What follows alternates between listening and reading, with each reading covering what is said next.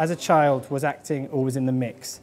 Did you know it was something that you wanted to do? Uh, yes, actually, it was. I, I started acting uh, uh, quite young, not on a, in, a, in a professional way, but um, I used to go to drama classes when I was about six or seven, where you did little um, improvisations and poetry and things like that. And uh, so, yeah, it's something that I've, I've been doing for a long time now, yeah. And then moving forward 10 years or so, so age 17, 18, was, was it falling into place then? Was the dream realizing Yeah. itself? Yeah, I, I, I think by that stage, I was very lucky to go to a sort of um, uh, kind of a youth theatre of sorts, and um, we got to do we got to play all sorts of brilliant parts. Um, so I really knew uh, by the time I was 16 or 17 that that's what I wanted to do.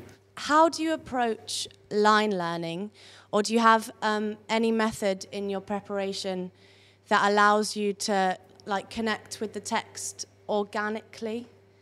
Yeah, absolutely. Uh, line learning, uh, I always think is just about wanting to say the lines. There are lines that you can go and you go, God, I know that really weird. That's really easy to learn that. And then there's always lines that you think, I can never remember that line. And I always think that's because you don't like saying the line. Quite simply, you don't either understand it or you go, uh, there's just not something that you're fully connecting with. You're not enjoying saying it. So I would always think that if there's something that you can't remember, it's because there's a part of you that doesn't actually want to say it. You know, you just don't really, you don't really, um, you don't really like it. So I, I think that's something that I've that I've often thought about line learning. I was just wondering what advice you would give to someone trying to self promote to get on the radars of casting directors at this early stage. Yeah, I think there aren't too many people that you can write to and say, I can be this, I can be this. You can't write 200 letters uh, and with a degree of authenticity and feel like you're right for 200 different types of parts. Do you know what I mean?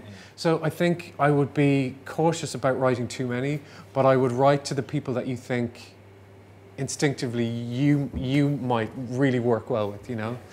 What part of acting do you find most difficult and how have you overcome it in the past?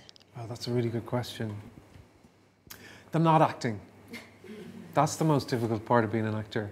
I think it's kind of important to have something else to do, you know, to have some other creative thing to do. I think kind of having a routine is quite good. I think a lot of actors spend their time watching Bargain Hunt in the middle of the day, you know. Okay, we'll have another question. Um, Lucy. Hi, Lucy.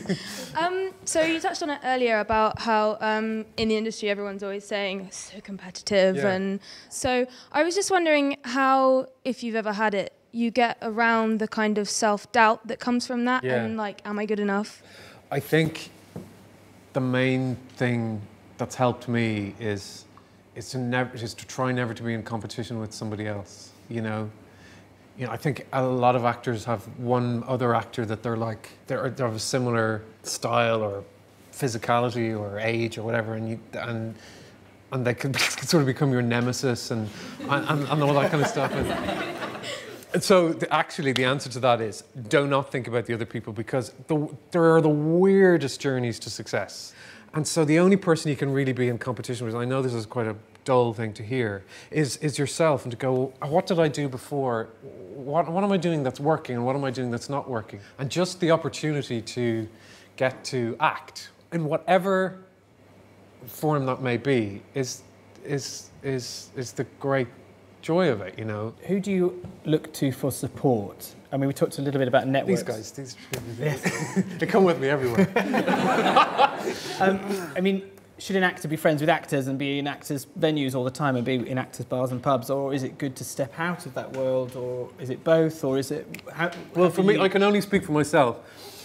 I always, when actors, when actors say, "Well, I don't have any actor friends," I think, "Well, get some," you know, because uh, you know they're your colleagues. But then, having said that, going to a lot of opening nights or you know all that stuff where you you just think this isn't really I'm not really in the gang can be a little bit depressing. And sometimes you do need to go I, I just don't need to. So I think you just have to feel it yourself a little bit. Okay, yeah. Very good.